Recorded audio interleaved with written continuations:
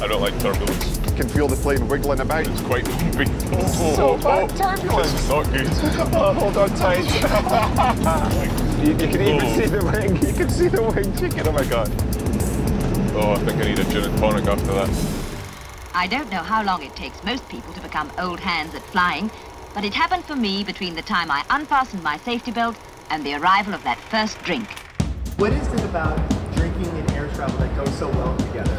It's the start of a holiday and it's the start of your break, it's the start of your time away. So historically and very much the current day, people view flying very much as an experience, an adventure, and You know, you're sitting in the tube with a bunch of strangers, helps take the edge off. Especially being British, you know, we like to have a drink on a plane. I just feel fabulous up in the air, and you feel more fabulous with a few drinks. And I like to have a glass of champagne. Probably gin and tonic. The most popular drink is most definitely a gin and tonic. And it's just a very pure, svelte taste. I enjoy beer, but the choices are very limited on a plane. Um, I think if somebody were to make the, like a perfect beer for flying, I think your kind of senses are a little bit muted, so something with a little bit more flavor. Like a brunch beer. It would have a little bit of zest in it, A little tiny bit of hoppiness. quite flavoursome. Not too alcoholic. Tasty, fruity. That would be a perfect airline beer for me. James Watt and Martin Dickie are back Action. Nailed that. to collaborate with the best brewers in the world and brew a beer in the dumbest way possible. Basically, it's the same shit they've always done. It's not bad. This is the Brewdog Show. Making beer and aviation are two of the finest achievements in human history. We're going to meet with the team at British Airways and see how we can combine the two. Maybe they'll let us fly a plane. Not a chance. Maybe they'll let us make beer in a plane. Mm, I don't think they will. Maybe they'll let us have a beer on a plane. That's a possibility. I'd quite like that. I would like a beer. On August 25, 1919, the Aircraft Transport and Travel Company began the world's first scheduled international air service from London to Paris. Then, after a series of mergers, it became known as British Airways in 1974. Today, flying with the call sign Speedbird, British Airways serves more than 45 million passengers a year, many of whom are thirsty. To make the perfect beer to celebrate British Airways centenary while also tasting great at altitude, James and Martin are meeting up with Hamish McVeigh to get this idea off the ground. How's it going? Good. Good to see Hi. you, Martin. How you doing? Welcome to British Airways. Thank you. So this is the headquarters, This is yeah. This is where it all happens. and you're coming up for 100 years old? Yep. Not you personally. I know. I've aged well. So no, yeah. So it's our centenary year. So 100 years. It's massive, massive moment for us. Well, why don't we take a walk down the street and I'll take you to the museum and start to look through that history of drinking on board. Having a nice drink and flying are so closely linked. They do go together. There's no doubt about it. I'm actually scared of flying, so I have a lot of drinks and then feel very comfortable flying. that makes you relaxed. Yeah. Welcome to our Speedbird Centre. So this is where we have the history of BA right the way from first flight in 1919 right up to today. I like all the different outfits as well. Yeah, so these are the uniforms all the way through the years. The exits are down here. I think we should go and meet Kelly and start talking to her about how we can make a really great beer for on board. Sounds good. Okay, let's go. Oh, I, f- I forgot I got the little seatbelt on. safety tip. Kelly Stevenson is the wine and beverage manager at British Airways, making her a leading expert on drinking in the air. Would you guys like a drink? Hell yeah. Yes. Oh, thank you. champagne. Service is incredible. Yeah. Cheers. Cheers. Cheers. How is it? Love a second. Do you have any more? It's a long flight. Of course we got more. Thank you. How much bottles of champagne does BA use each year? In our business class cabin, we use about a million of these bottles every year. A Million a year. And then we've also got different champagnes going through our lounges and in first class. So we get through close to about two million when you count everything in. It's a lot of champagne. And is champagne the most popular drink on board? One of the most popular. Gin and tonic is, is really popular, but then we are seeing more beer drinkers come through. And I think when we're choosing what we list on board, we've got to be really selective because there's not much room on an aeroplane. So we always taste before we select any listing because we know what works in the air. Oh, so it tastes different in the It air? does taste different because your taste buds are, are slightly dumbed down and you don't get as much from the food and drink. So if we're going to make a beer to be enjoyed at altitude, we just need to go all out in flavour. Yeah, that's what we look for. All out flavour and flavours that are expressive of themselves. So if you've got citrus, those sharp flavours that work really well. Fruit generally, if fruit is in a drink, it's going to be a success in that environment as we, as we need it to. Some champagne, sir. So if we're going to make a beer that's perfect for altitude, I think a lot of hops and maybe some citrus peel in there. Absolutely, knowing what we know happens at altitude and knowing what you know about beer is going to make that perfectly harmonised product. So the idea that we have that you're definitely going to shoot down, but let's go with it for now, is we'd love to maybe find a way to make the first batch of this beer on an airplane whilst it's flying. Um, It'll be fine. It'll be fine. I can guarantee to you no one has ever done this before. It would be a real first. I'll take that as a yes. It's a definite yes. Cheers. Cheers. Cheers. In order to work out the logistics of brewing a beer on a commercial airline, the boys meet up with project manager David Tubb, who, like their usual engineer named David, Well done, David. will probably say yes to everything, no matter how absurd the ideas may be. This might actually happen. What kind of plane is this? 787-9. I thought it was a Dash 8, but yeah. Come on, gentlemen, we're going to see what we can do on board for you. Have you ever seen a brew system on a plane before? That's just insane. The Boeing 787 Dreamliner is the pride of the British Airways fleet. It can fly at nearly Mach 1, is one of the quietest rides in the air, and has a high-tech air purification system that reduces jet lag. It's the perfect setting for a brew house in the sky. We might just have to take out some seats. And then we'll get an awesome setup with a view out the window.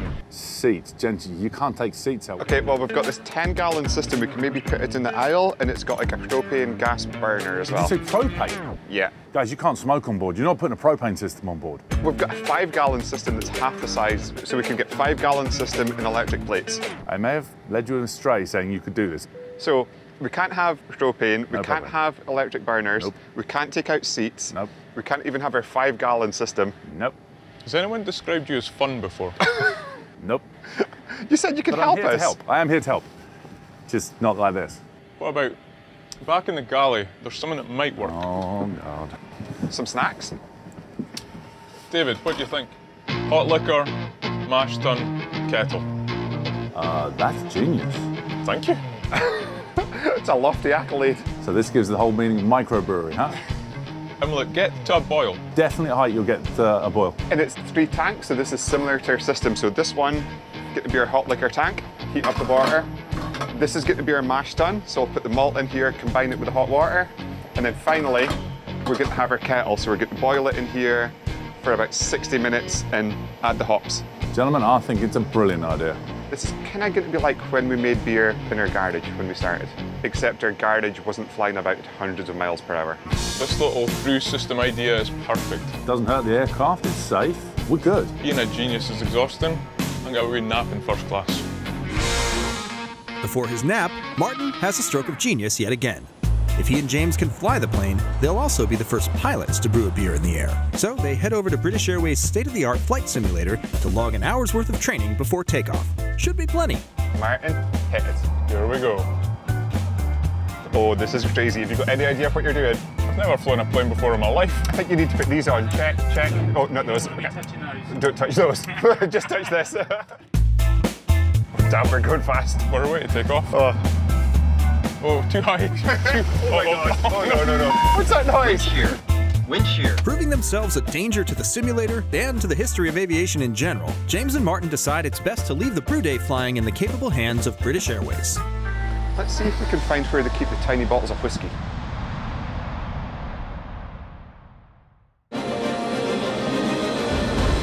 It's brew day, and James and Martin have arrived at Heathrow Airport. Like the Wright brothers, Chuck Yeager and Neil Armstrong before them, they're leaving terra firma to accomplish a great triumph of human history. Just as soon as they get through security. Hello, we're going through security at Heathrow's Terminal 5. Oh. Oh, I'm still amazed we got this malt, hops, and yeast through security. And the flight's up on the board, so this thing is going to happen. I think this way, this way, this way. We're going the wrong way. This way. It's almost time. Let's get the tram. I'm going to enjoy this flight. So we're checked in, we're through security, we've got our malt and our hops, and we're making our way to the gate.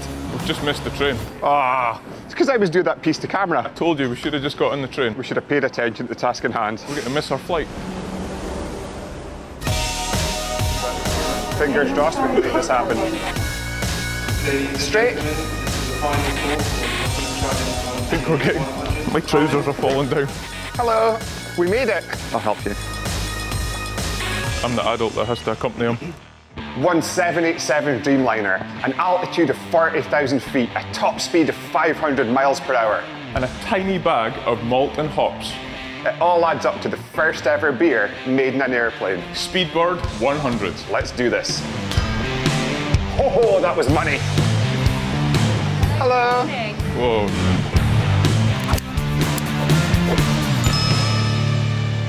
So we're going to need to be all over this as soon as this fasten seatbelt light goes off. We need to be good to go.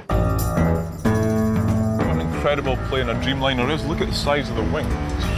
It's huge. So much better than pretty much anything that's not British Airways. Hate the You've always said that. I would never fly with any other airline. Don't. Just walk. If you're not going to fly with British Airways, walk. Do you think that's enough to get the funding for the episode? Yeah. Without making it feel like an advert? It definitely wasn't obvious. No, we nailed that. I'm James. How's it going, Captain? James, welcome. Yeah, Hi, Martin. Hello, Nice to meet Martin. you. Nice to see you on Joe. How long have you been flying for, Captain? 45 years, 35 with a company. Wow. You nervous, Jared? Terrified. Get this clear so we can get the water down. So this is an actual 787 Dreamliner. Almost ready for takeoff. We are going. We've just pushed off like BA 100. Dreamliner, seatbelt on. Let's brew the first ever beer on an airplane. After we're taking the seatbelts off. Oh yeah. Cabin crew, please doors towards Frantic and cross check. Think this is it. Captain, head. See, that would be perfect. We just go Yeah, in. Let's try it again, just in case it works. Captain, head. Oh wow. He.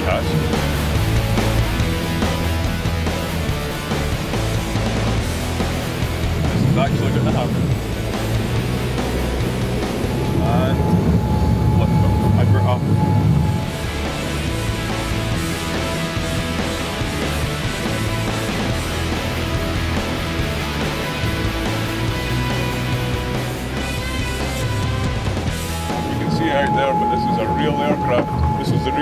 Martin, and we're about to brew a beer. It does feel faster than usual. It's steeper than usual and bouncier than usual. Without the added weight of a full flight of passengers and luggage, this bird is flying light, which makes it far more susceptible to being tossed about in turbulence. I don't like turbulence. You can feel the plane wiggling about. It's quite big. Oh, So oh, bad oh. turbulence. This is not good. Oh, hold on tight.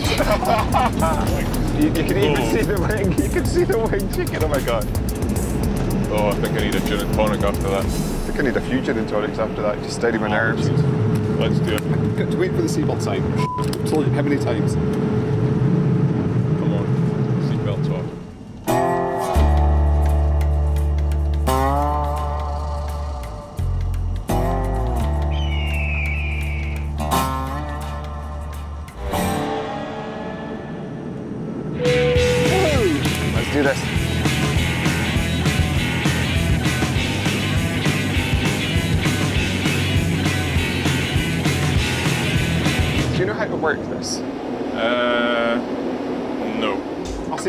See if I can find someone. Excuse me. Um, could you help us work this system here? Oh, right, the bev makers, right. The bev makers, or Yes. today the beer makers. Beer makers, absolutely. Where are you putting the beer? Is it going to go in the pot? So this one is going to be our hot liquor tank, so that one we just need hot water. Right. This one is going to be our mash tun, so in this one we're going to mix the malt with the hot water. Yep. We're going to use this asparage, and this final one is going to be our kettle, so we're going to look to boil it in here. Okay, perfect. Press the T button and put the handle down. You'll press brew. That is a hot plate basically, so it will keep the liquid warm. Amazing. It's like it was designed to make beer. I know. It even says brew. I'll Thank leave you. you to it. Thank Thanks, you. Susie. Uh, ladies and gentlemen, the captain, uh, Jerry Palmer, with just a short message for you. Very good luck uh, with the beer. Uh, boys, please don't break anything. Uh, we look forward to seeing the result when we get on the break. That's the official seal of approval from the captain. Why did he ask us not to break it? He's maybe seen other episodes of the show. Let's get the ingredients out. We have our malted barley, some beautiful American hops, and of course, the special ingredient. Citrus peel. I Don't think we've ever made a beer with like ingredients in this small quantities before. No, but we don't have much time, so let's get mashed in. So we've got our strike water, we've got our malt, we've got some Maris Otter, we've got some crystal, we've got some caramel in there as well. Going to give us a nice full body, yet still quite pale base with a nice sweetness and a nice bit of backbone. The sweetness level is going to be a little bit dulled because of the altitude, so we need to keep the beer a little sweeter. And we were instantly seeing some of that colour, like a deep dark gold with some ruby hues in there. It's beautiful. So mashed in perfectly. Let's get that back in there, set it down. We need the mash rest to happen. And that's the thing with mashing in. I always get really hungry, so I might go and get a snack in first class. I'm not sure you can just wander up into first class. Far away from the danger and stupidity of making a beer in coffee pots while hurtling through the air, wine and beverage manager Kelly Stevenson has been enjoying the quiet and luxury of first class. So James and Martin decide to pay her a visit and compete to see who can offer a better drink pairing with her meal. I'll go for the steak Excellent and choice. the chicken satay, please. It's also a good choice. I'll take the steak. Oh, wow. Thank you very much. Fancy. So Kelly, for this first pairing, we've got the fillet steak with the potatoes and winter greens and a peppercorn sauce. So I've paired that with a classic Bordeaux blend. This is a really good pairing, Martin. I'm impressed. The left bank style with the heavy cab, it's, it's really working well. And just so you can experience this pairing yourself, here comes the aeroplane. It's usually how I feed them. Straight, such a good pairing. I would love to sit here and enjoy it, but I've got to go and put together a pairing of my own. See you in a minute, James. I wasn't even finished mine. It's. What time does the in-flight entertainment kick in? It's on now if you want to watch it, if I'm boring you.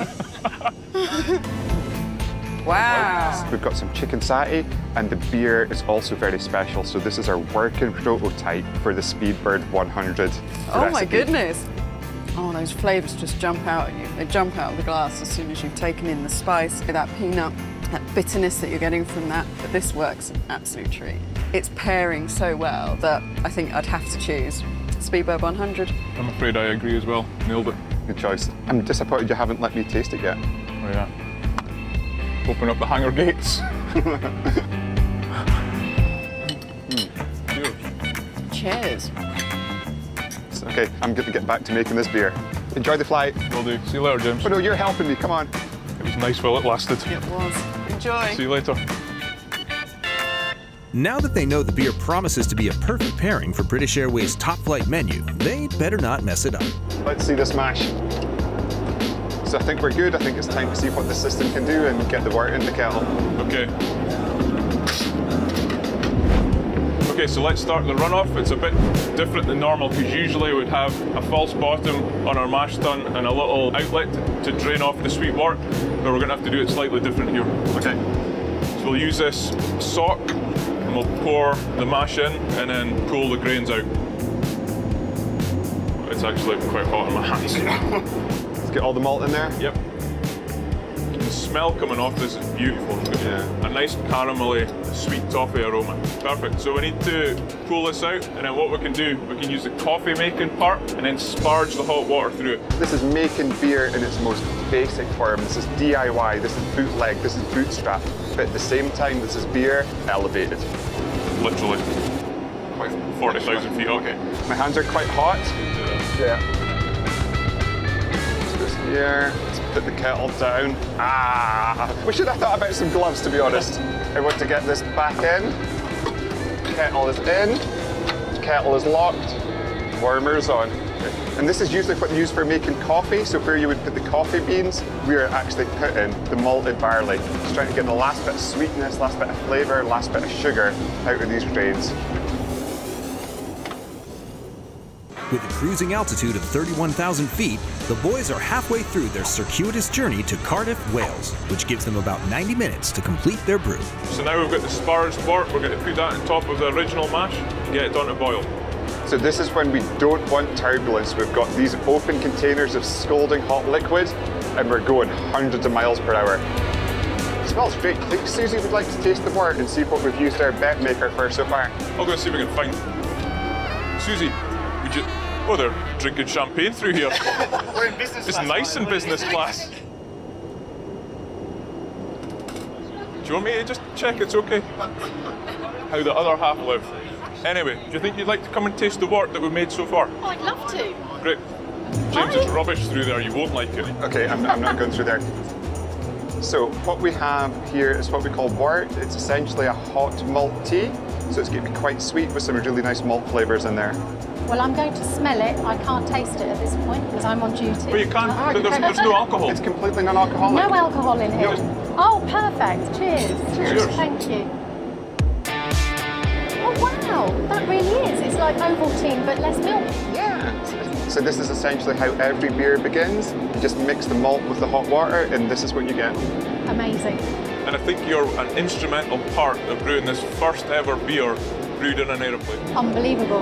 I feel so privileged. We've got to finish this beer. You can maybe go and make the people in business class jealous with your glass of wort. I certainly will. Thanks for your help. See you later. Thank, Thank you. you. That is the engine of a Dreamliner at 40,000 feet.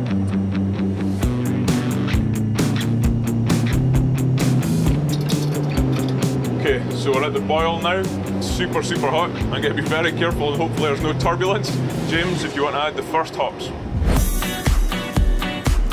So we've got the same blend of hops all the way through. This is some of our favourite American hops. We've got Centennial, Amarillo and Simcoe. And the aroma coming off of this already is amazing. Huge pine, huge citrus, a lot of orange. Perfect. Okay, okay let's get this back on so we don't lose the heat. Lock and load. With the hop addition complete and the guys soaring over their native Scotland, it's time to add the citrus peels to spike the taste on the world's first beer brewed on a plane. So this is such a key ingredient in this beer as well. With these we're going to bang in loads of fruit flavours and they're going to be super, super amplified. And just off a tiny bit, just the intensity of that punchy citrus flavour is off the charts. And I think that's why gin and tonics are so popular at altitude because they have all that fruit flavour in there, that little acidic bite. So adding these peels is really going to explode in people's mouths. By the way, if you're watching this, sitting in a British Airways flight, and you haven't yet asked one of your cabin crew for a lovely Speedbird 100, do that now. All you need to do is press a little button beside you, and a wonderful British Airways assistant will come and give you a beer. It'll be the best decision you've made today, maybe the best decision of your life. Do it. You know you want to. Okay, that should be the boil finished. Done. Yeah. Adding the most aromatic ingredients at the end of the boil just to keep as much of that aroma as we can. The blood orange and grapefruit peel. You're just getting this explosion of flavours just hitting your nostrils and it smells delicious. And that's the thing with citrus peel. All the real aromatics are in the peels, not in the fruit itself. So adding this is really just exploding out of the kettle. Oh, my ears keep popping. Are we going up or down? We might be starting to go down, so we need to get a move on. Yeah. Well, we need to cool this down. I think outside is like minus 60 degrees Celsius. We can just open the window and put it outside. If you open that window, you'd be sucked straight out and then right through the turbine. Maybe let's just put it in the fridge. Yeah, we should. As their flying brew house begins its final descent into Cardiff, the wort cools in the fridge and is ready for transfer. How's the temperature? Perfect. Okay.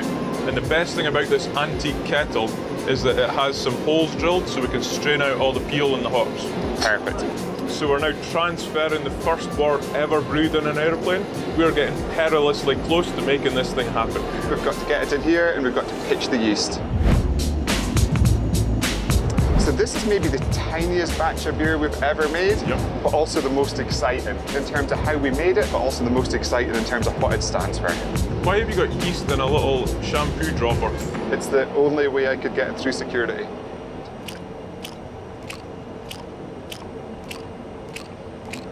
Perfect. Okay.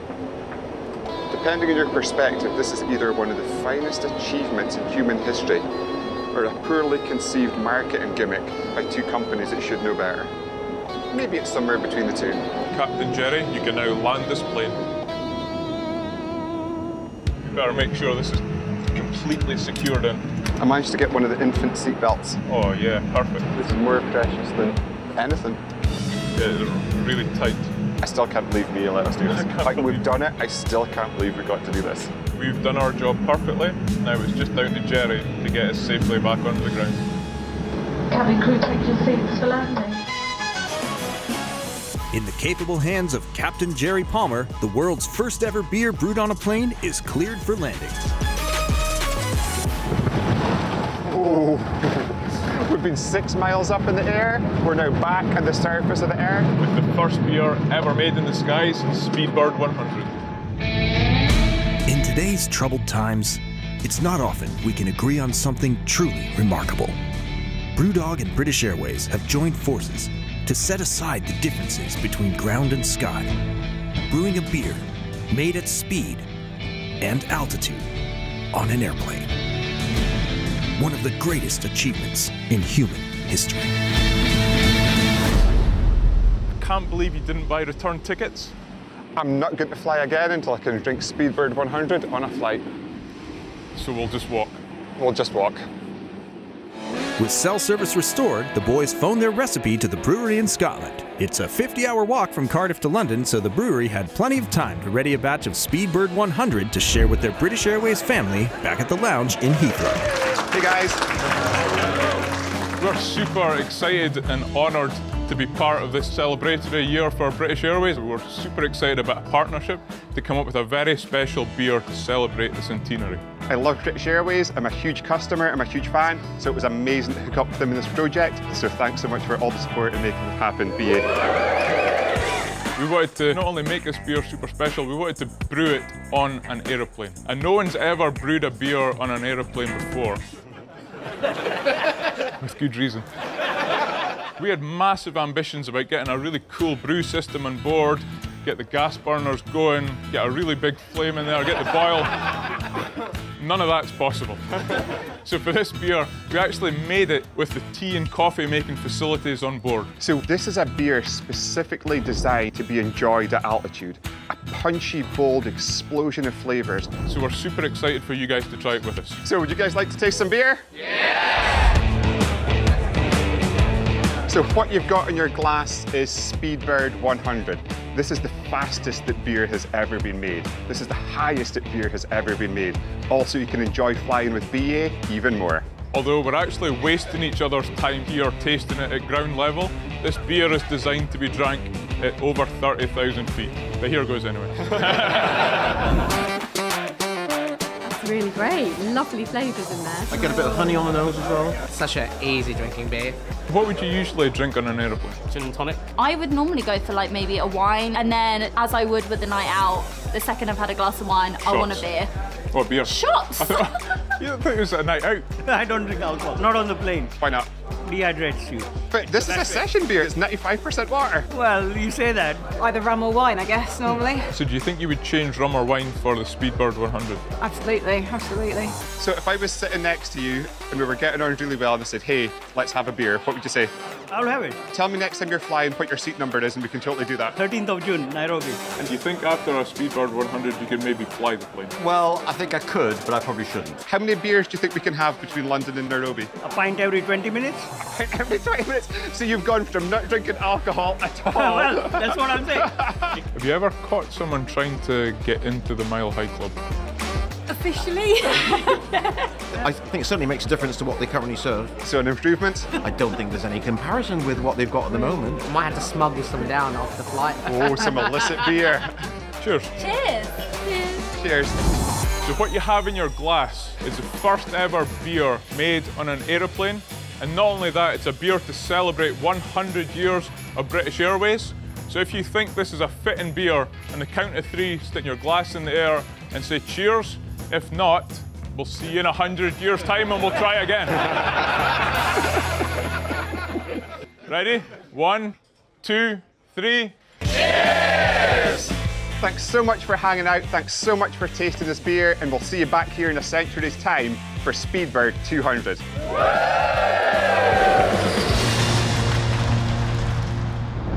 Heard something about a thing called the Mile High Club. What did you hear?